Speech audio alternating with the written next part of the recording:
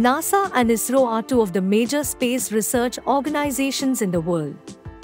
NASA is an organization in the US, while ISRO is an Indian space organization. Both are involved in space research and exploration.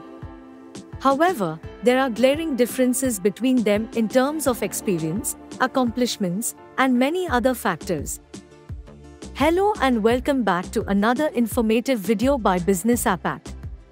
In this video, we will discuss 10 specific differences between NASA and ISRO. 1. The annual budget of NASA is higher than ISRO. It was 24 billion US dollars in 2022 which was partly under military funding.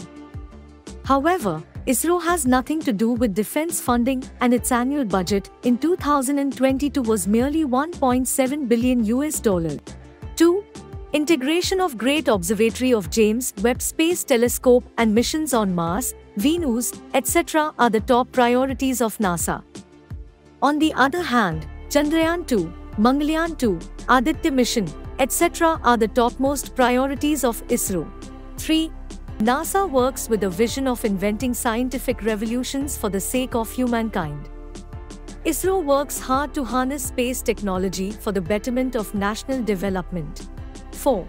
NASA is counted among the world's leading space organizations that have launched 1091 unmanned space satellites. ISRO, on the other hand, has launched 120 space satellites in 47 years. 5. NASA has undertaken major projects like International Space Station. ISRO is still working on launching small satellites. 6. NASA was founded only four years before ISRO in 1958 and it launched Apollo 11 mission in 1969 for sending humans to the moon. Neil Armstrong was one of them. However, ISRO is still planning to launch Chandrayaan 2 mission for sending humans to the moon. 7. NASA was launched on independent basis in the USA but ISRO received financial as well as technical aid from Soviet Union in its early years. 8.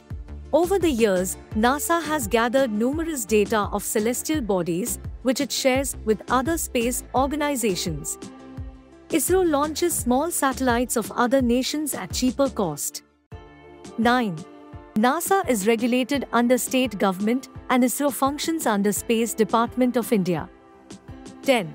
ISRO built India's first satellite Aryabhatta and launched Mars Orbiter mission, MOM.